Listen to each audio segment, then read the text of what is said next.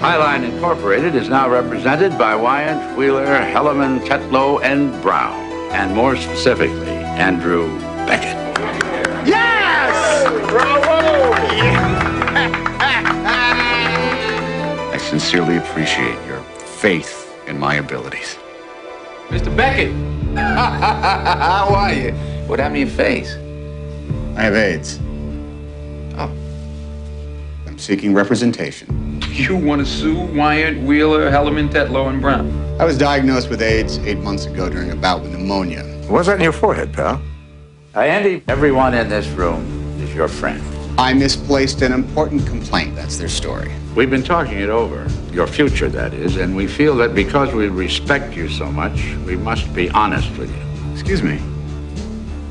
Am I being fired? Would you accept a client if you were constantly thinking, I don't want this person to touch me, I have a case. I don't want them to even breathe on me? You don't want it for personal reasons. Thank you, that's correct, I don't. That's very disappointing. Sir, wouldn't you be more comfortable in a research room? No. Would it make you more comfortable? Beckett, how you doing? Counselor. Did you find a lawyer?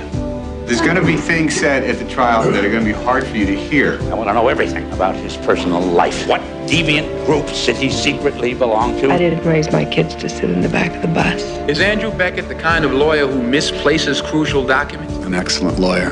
Andrew Beckett is dying. You were impressed with Andrew Beckett's work. Andrew Beckett is angry, What powerful force has caused him to change his mind? and he wants someone to pay. TriStar Pictures presents The law's been broken. I just want what is fair, what is right. You remember the law, don't you? a Jonathan Demme picture. So let's talk about what this case is really all about. Did you fire Andrew Beckett because he had AIDS? The general public's hatred, our loathing, our fear. In this courtroom, Mr. Miller, justice is blind to matters of sexual orientation. We don't live in this courtroom, do we?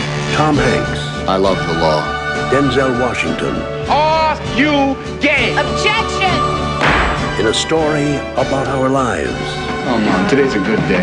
our fears, Andy brought AIDS into our offices. And our humanity. I hate this case.